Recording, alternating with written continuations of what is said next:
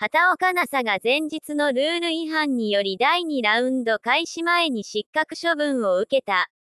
第1ラウンドの最終9番、パーゴ、茂みに打ち込んだ球を発見するまでに捜索にかけられる3分の制限時間を超過していたことが発覚。現場にいた関係者からのこの日の朝の通報を受けたツアーが映像で検証を行い、5所からのプレーの違反、ゴルフ規則 14.7b が認められた。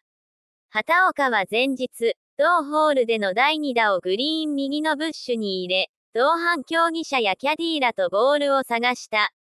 ゴルフ規則 18.2a では捜索時間を3分と定めているが、競技委員らが実際に計測するわけではない。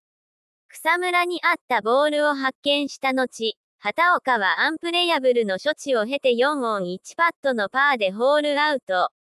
65で終え、6アンダーの4位で第1ラウンドを終えていた。ところが大会はこの日の朝、捜索のシーンに立ち会っていた米テレビ中継局のリポーターの申し出を受け、映像を検証。捜索に3分25秒かかっていたことが明らかになった。本来であれば、弾は紛失したとみなされ、1罰打を加えて2打ち目地点から4打ち目として打つ必要があった。スコア提出前にその誤りを訂正しなかったため、失格になった。第2ラウンドを控えた朝、畑岡はコース内でウォーミングアップをしている最中にツアーから失格の連絡を受け、呆然となった。同伴競技者から言われたなら納得いきますけど、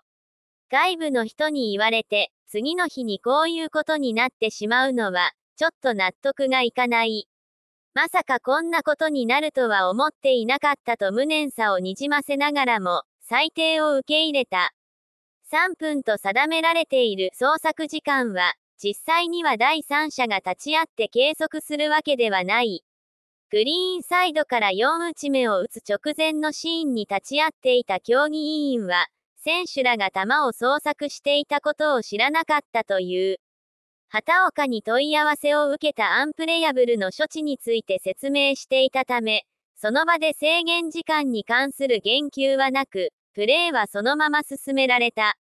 なお、ゴルフ規則は2017年に、ビデオに映る事実が肉眼で合理的に見ることができない場合、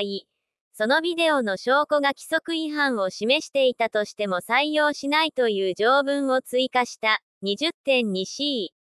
テレビ視聴者からの指摘等による違反の発覚で、後日、失格や罰打が加わっていたことへの対策だったが、今回はこれに当たらないという。今大会の競技委員長を務めるスー・ウィッター氏は、7年前、このルールで変わったことは、我々が視聴者の電話による通報を受け付けなくなったことです。しかし、今回は、大会のコース上にいた信頼できる情報源による通報だったと説明した。仮に御所からのプレーがホールアウト前に発覚していれば、2罰だ、一般の罰を加えたスコア、67で4アンダーから第2ラウンドをスタートできた。通報がスコアカード提出前に行われていたら、と思うと悔やみきれない。